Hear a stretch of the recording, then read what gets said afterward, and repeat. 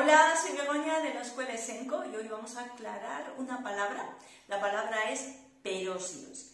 ¿Qué significa esta palabra tanto en aceites esenciales como en aceites vegetales? Pues bien, peróxido significa un compuesto que tiene un compuesto que está oxidado y por lo tanto tiene oxígenos que no deberían estar, oxígenos reactivos que no deberían estar en un compuesto, ¿vale?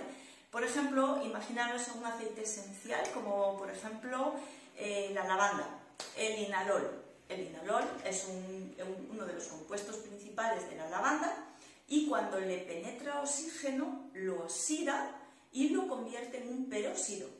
Este peróxido generalmente, no siempre, porque hay peróxidos que no son irritantes para la piel, pero otros sí que son irritantes para la piel.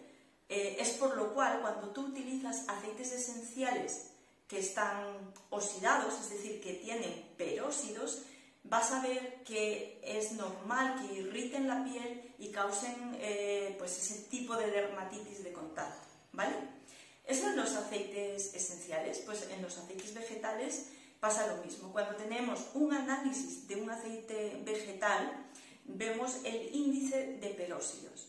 Eso quiere decir el grado en el ya está oxidado o ya hay demasiado oxígeno reactivo en el, aceite. ¿no? Mide eh, la cantidad de, oxígeno reactivo que hay en el aceite. Entonces, si tiene demasiados peróxidos, pues es un aceite que eh, pues posiblemente no sea saludable, dependiendo del nivel de peróxidos que tenga. ¿no?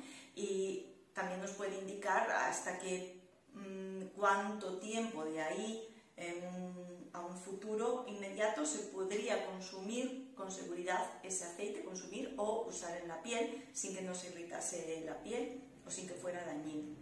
Espero haber, aclarado este término porque es, uno de lo, es muy usado en aromaterapia, en el mundo de los aceites vegetales y esenciales en general. Así que ya sabéis, si queréis estudiar conmigo podéis hacerlo en escuelaesenco.com.